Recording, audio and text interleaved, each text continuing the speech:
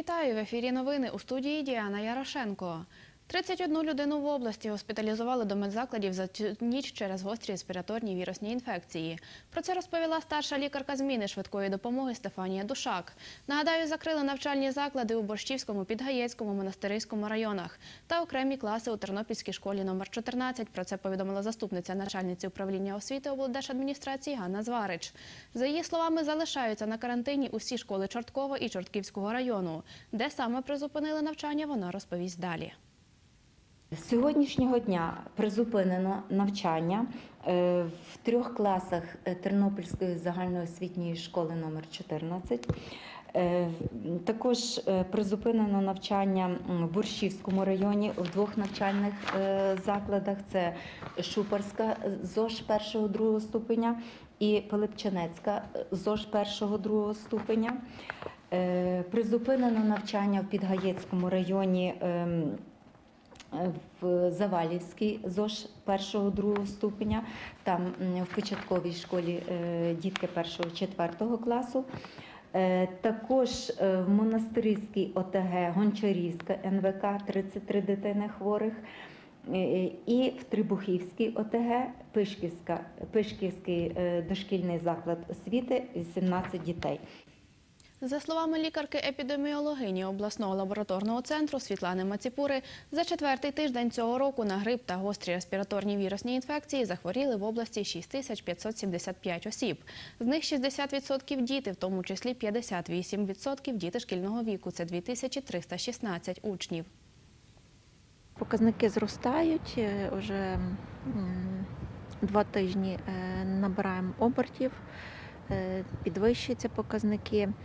Е, Область перетнула середній е, показник, багаторічний показник по області на ем, 20,1%. На 12 територіях області теж е, цей показник вище середнього багаторічного. Найвищий він у Бережанському, Бощівському, Зборівському, Тернопільському, Чортківському, Шумському районах. Також Світлана Маціпура повідомила, що з початку року в області лабораторно підтвердили 21 випадок грипу А. З них майже 10 випадків у дітей. Зараз у лабораторному центрі досліджують три матеріали, які були надіслані лікарями з Чотківського району щодо наявності грипу у трьох хворих дітей.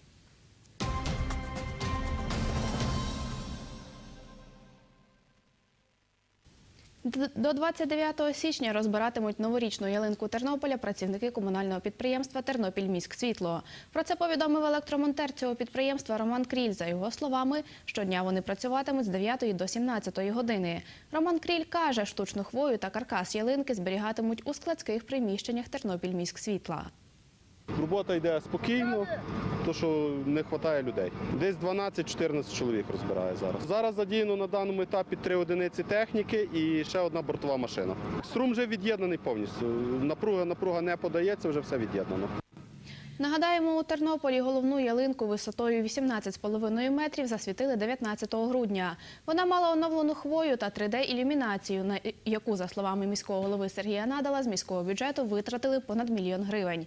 Також почали демонтувати файне зимове містечко, повідомив директор Тернопільського туристично-інформаційного центру Тарас Ковальчук. Він каже, демонтаж триватиме два тижні. Сьогодні у нас е, зайшли першими електрики, а вони відповідно демонтують електроенергію всю лінії, підключення щитові. І від- відносно того, потім вже в нас буде відбуватися вже фізичний демонтаж, той, який буде наочно видний. За цей тиждень ми плануємо демонтувати всю весь район площі, тобто будиночки, площі, будиночки до годинника. Сцена в нас в середу приїжджають на демонтаж. Сьогодні її чистять і тільки в середу її демонтують. І сьогодні-завтра в нас резиденція Святого Миколая також ем, вже забереться. І з понеділка в нас алея Чорновола також стає на демонтаж і плануємо за тиждень її також демонтувати. За словами Тараса Ковальчука, встановлювали файне зимове містечко місяць. Він також розповів, що ковзанка на театральному майдані діятиме до 1 березня. Це вся інформація на цю мить. Ви дивились новини. Для вас працювала Діана Ярошенко. На все добре.